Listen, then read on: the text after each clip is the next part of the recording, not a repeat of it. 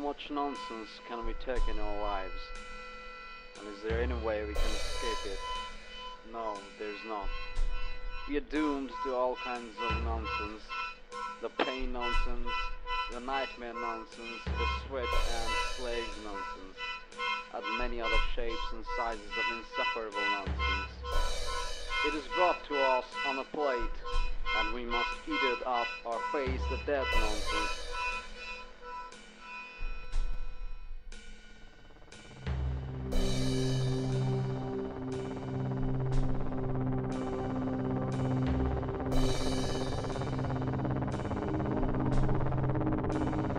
How much nonsense can we take in our lives?